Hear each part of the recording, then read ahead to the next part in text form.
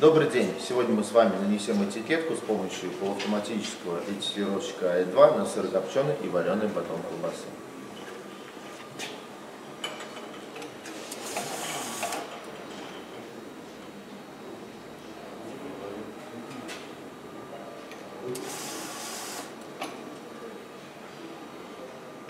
Благодарю, благодарю вас за внимание. Всего доброго и до свидания.